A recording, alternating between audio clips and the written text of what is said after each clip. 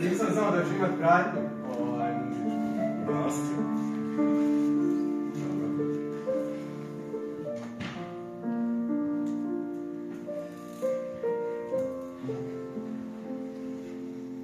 Nije ovo već jednostavno.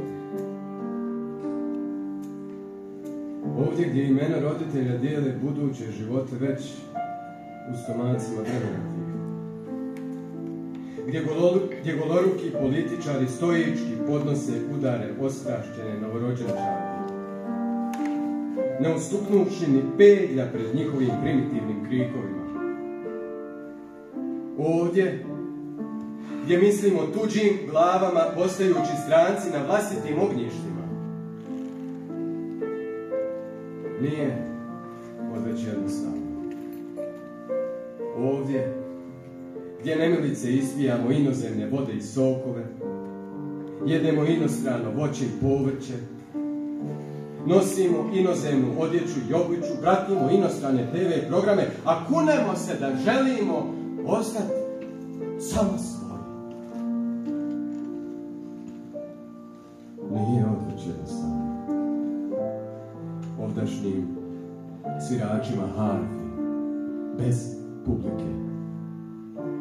Ovdje, gdje MMF vide kao spasioca otvorene šake, gdje postaješ gospodin tek nakon drugog pokradenog miliona, gdje su poštovanje i stid, zaboravljeni pojmovi iz demodiranih riječnika.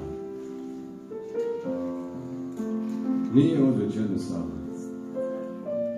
Ovdje gdje su pošteni zabrinuti za vlastitu sigurnost, a lopovi zbog uznemiravanja prilikom realiziranja lopovluka. Ovdje gdje su poslušnost prvi uslovi za napredovanje.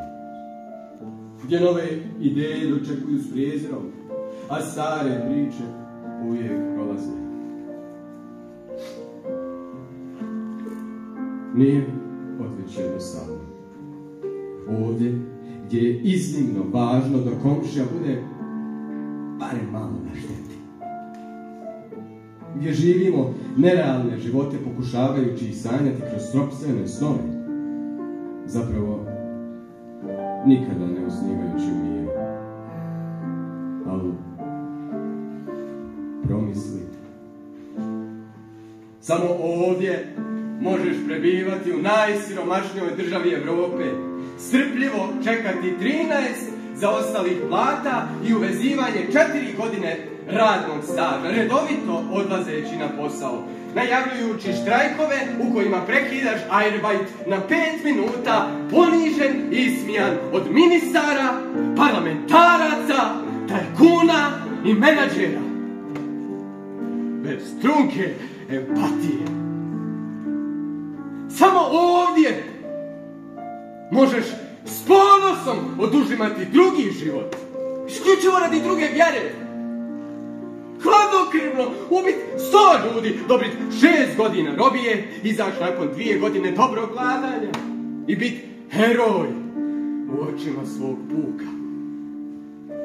Samo ovdje su logos, topos, etnos i demos spojeni u modernog Frankensteina.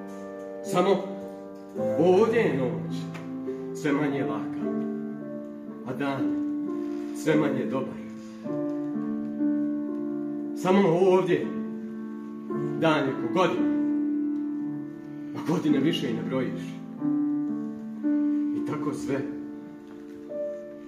Iz noći u noć. Iz dana u dan.